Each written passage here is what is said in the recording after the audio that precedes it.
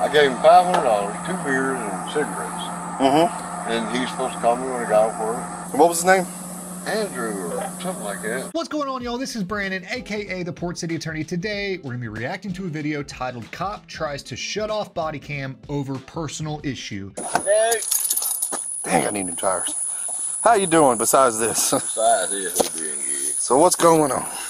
Well, my mother-in-law got a call, said the horse was out, and the guy put it in, said, looked like the gate been hit. So I said, I better Oh, okay, come over here and what? check it. Well, the gate been hit. They stole my camper set right there. Jesus, okay. You see where they come out, they went that way. Who's in the vehicle with you? Get the car on. Let the car on. Put the keys on the dash. Put the keys on the dash. Is anybody in the back? I thought you, I thought you were trying to pull him over. No. Hey, Step out. Step out, put your hands on the car. Hand me a hand. I'm getting tamed at this moment. Okay, Al, go ahead and step out for me. What what am I being pulled over for? This trailer's showing stolen. Oh, I didn't steal it. Okay, well that's what you got pulled over for. Well, that's why you're detained, steal it. I and I'm trying to figure out what's going on. Okay, I don't know. so just give us a minute. Scaring me to death. This guy, this guy said I could stay in this trailer right here. I don't know nothing about it. All right, well we're trying to get your ID. We're gonna walk back here. We're gonna have a seat in my car for just a minute, and we're gonna get this figured out. Understood? Okay. All right, so obviously, real quick, probable cause to pull him over was that the gentleman in the beginning stated that his trailer was stolen. It's a huge trailer with a wrap on it, so very easy to spot. So the reason why they're being detained is they're suspected of stealing a trailer, which is probably some sort of a felony larceny based on the value of the trailer. Male driver, female passenger. Turn off the body cam. Are you recording? Yeah, we're hot. Turn it off. We can't shut it down. We got 1015s. I just shut my line. Huh? It's okay. Everything good? Just shut it down for a second. Or somebody shut it down and talk to me real quick. Uh, I cannot stand. It's probably one of the things that make my blood boil the most is when cops try to shut off their body cams. They're there for a reason, right? And obviously, you've got an issue. I really hope that these officers have some intestinal fortitude and don't turn their cameras off. Turn it off. We can't shut this shit off, dude. Just, I don't give a Put it on my foot or something. I need to talk to somebody real quick. Okay. Is there something screwed up with the case or is it something personal? It's personal? Okay.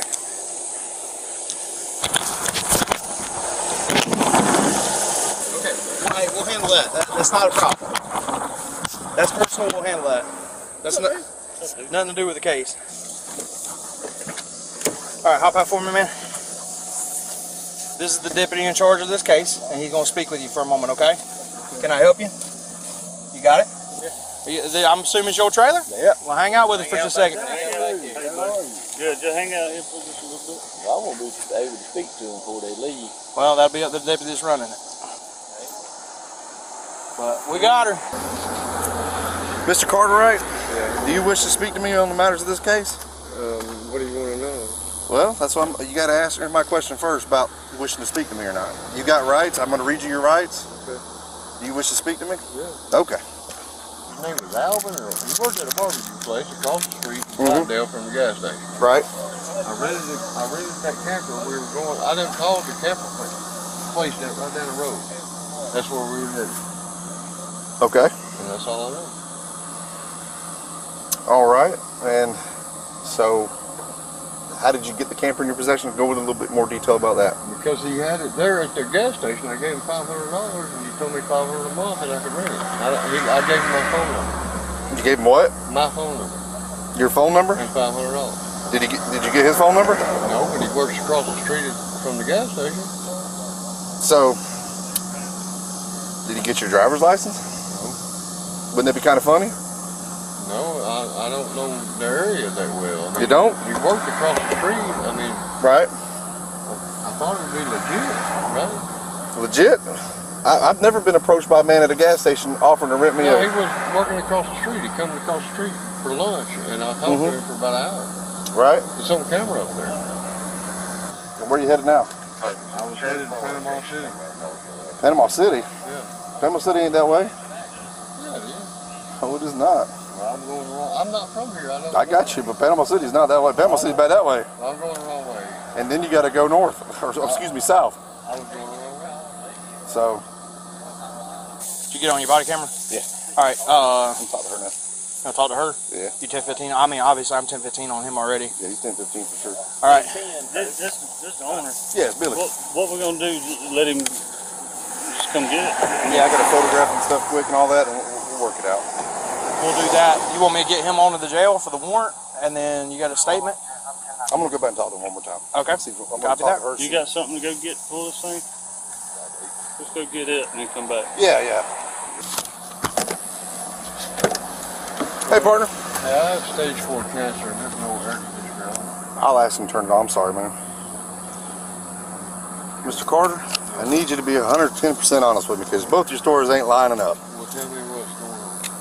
You tell me what's going on. I just told you. I stopped at the gas station. I, I'm gonna be real with you. I said it's impossible. I don't buy the gas station story. I gave him five hundred dollars, two beers, and cigarettes. Mm-hmm. And he's supposed to call me when I got off work. $500, two beers, and some cigarettes is a steal for that trailer. I bet that's a $10,000 trailer. I don't know the cost of trailers. That's just an assumption. That's a steal. What was his name? Andrew or something like that. Andrew, man, I'm, I had stage four. My, I'm gonna put your cuffs in the front. All right. Look at me. please. Look at me. I got. Thank you, ma'am. Okay, I'm honest with you. Look at me. I want you to look at me. I'm gonna put them in the front. If you try anything stupid, don't. I don't want you texting nobody. I just want you to pull pull up this number. All right. Just his number. That's it. Nothing else. All right. I'm not gonna do nothing. I remember. It's dead. What? It's dead. It's dead. It's not coming on. Let me see it. Why, why would I lie? Hey, Wag. You got a C-type charger in your car? There's one in my van. Can you charge up his phone for me, please? I don't know. I ain't worried about her. I wouldn't worry about that girl. Does she have anything to do with this trailer at all? Be real with me. No, she, she was. She knows what the information on it though, because she was with me the second trip. Is your car unlocked? She knows a black dude. Ask her if it do. Ask her if she knows somebody named Andrew. Oh, I'm so sorry. No, That's right. sit that down. You need to come clear with me because he's up there saying you were involved Involved with what? taking that trailer off that man's property. I had nothing to do with that. I don't. I swear to God. Okay. Did you meet anybody today with him at all? No. You don't know anybody named Andrew? No. Black guy at a gas station. No. You got a bug on you there, might feel off. Yeah. No. I don't. You buddy. Yes, sir. All right. Mr. Carter. All right. Now uh, we're gonna stop me. All right. We're gonna quit around playing games. I'm gonna get serious with you because she's over there telling me a whole different story than what you got. Blue smoking on my car now. Just stand up right there. You understand what I'm saying to you? I understand. I'll tell you the truth. Oh my, oh my God. Why do you got two different stories? Because she's a fucking crackhead. All right.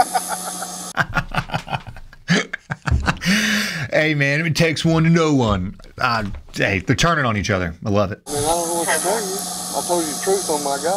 To her, She's a crackhead. She don't even. it's know- locked. She's delusional. Oh, okay. You know what I mean? getting away from the Do what? She's delusional. She's a fucking crackhead. I just met her last night. Yeah, she confirmed that. She also said last night she said you were gonna go out and get a camper, and you showed up one this morning. She's a fucking liar. So, uh, you want to back up a little bit and restart your story and talk to me, or are you gonna keep to me? No, I'm not bullshitting you. I told you the truth, and I'm sticking with it. Okay. All right, have a seat for me That then. girl's a crackhead. I promise on God.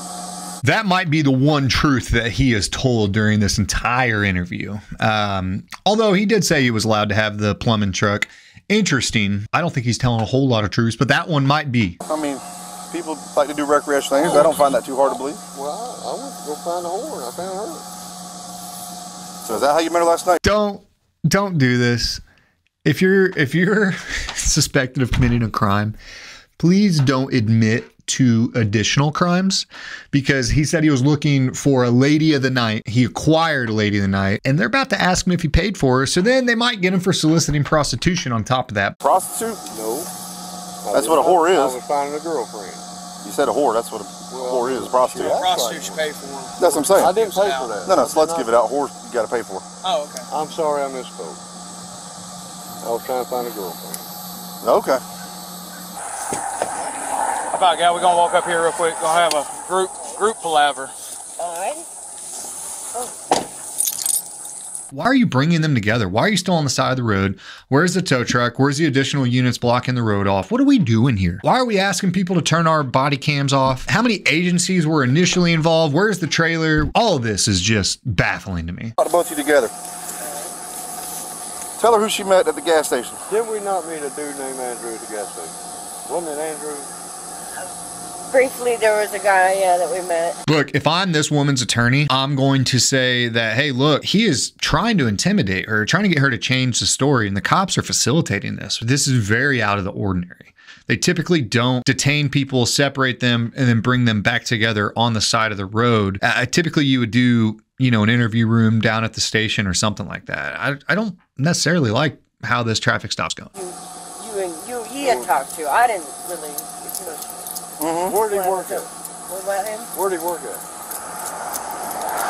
He had McDonald's. Um, Was it McDonald's? It was Gray, wasn't it? huh? It was Gray though, right? I don't remember. I thought it was a barbecue place across the street. I don't know. I don't Right, know. right. I don't know. Okay. Uh, continue. I'm working. I went back to Uh, buy we got the beer. van's got to go back to Panama City. I gave him We went to get beer. From where? Do you remember? seen the Andrew guy at the store, and then we went back to the house. Marydale. Right. You know something? I'm gonna be real with both of you. You're both bad fucking liars. Okay? Because a minute ago you never seen a black man, never heard of anybody named Andrew. I and don't here really we are. know him. He, He just led you right into questions you agreed with him. That's all I wanted to prove. That was some. No, it's not. It's No, but I don't know what he's got to do with it. Who's what? Why does Andrew have anything to do with anything? I think I know Yeah. everybody, but I don't. right, walk back to the car, gal. All right, that's all I needed to see. You can have a seat back in the car. You can throw that butt down. Can I have I another? have nothing. No, you may sit in the car, please. We're going. We're- honest with you. all right, I got you. We're going to try to do the phone thing quick. All right? Maybe you got enough to look through your phone quick. You got Andrew's number? Can I have a cigarette? I'm not gonna play the game. I'll just take the phone from you. We'll call it a day. I don't really give a shit. All right, sit in the car. I mean, I really don't know what to say. Sit in the car. I, will, I want to help. Then give me the number. You ain't gonna blackmail me for a cigarette. You sit in the car. blackmailing you. That's what that is. You're, that's what you're doing. I'm Sit- gonna look the number up. You can put your legs in the car, or I can charge you resisting without. The level of professionalism with this officer, I believe this is the same officer that asked them to turn off the body cam, is disturbing. I hope that he was reprimanded. Just the tenor of this conversation. I mean, look, I curse all the time. I know when to turn it off and turn it on. There's appropriate times to do it, appropriate times not to. I don't know. The level of professionalism is is pretty astounding at this point. Every, every day above ground, sir. Thank you, sir. I don't even know who Andrew is. You know. But a minute ago, you said you didn't talk to I nobody at the gas station, I didn't really talk to him. and I said Andrew. But you were in the car, and you could have said, "Oh yeah, so I he did talk to some guy."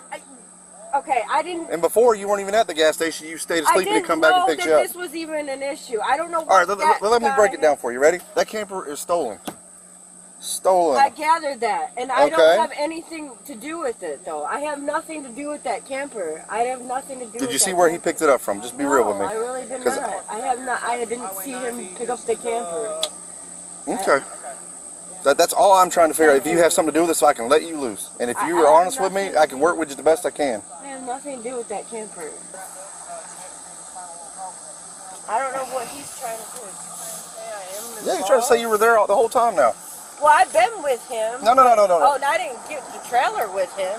Is he saying that? Because I don't know Yes, anything yes. about that. Upsets me because I have nothing to do with that. We got together. Okay. Subverted on that one. What? Subverted here. One more, one more time over there, and I'm done. Okay. I'm talking to him.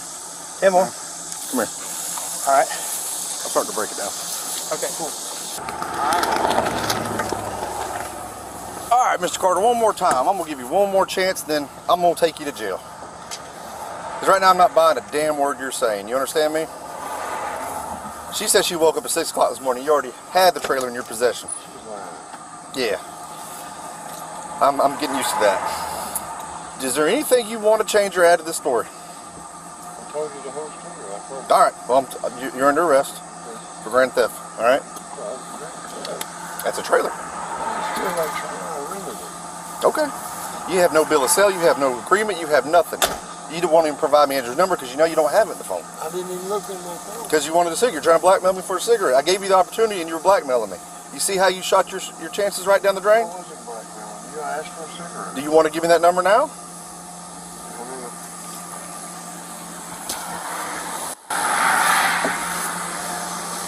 It's hot. Who's the U-Haul? And where were you driving? that truck. That van? Yeah. Okay. Well, we're cutting her loose. All right? Because she don't have anything to do with this trailer, right? I mean, I don't have nothing to do with her. No, I'm just asking about her. I, I'm I'm not asking about you. I'm asking about She her. She knows everything I know. Well, she says she don't. She's mine. She knows everything I know. All right. And he didn't say where he got the trailer. He just said, "Hey, I got a trailer. Let's let's rock and roll. Let's, let's get out of here." He just said he was going to get one last night and that he'd come in this morning.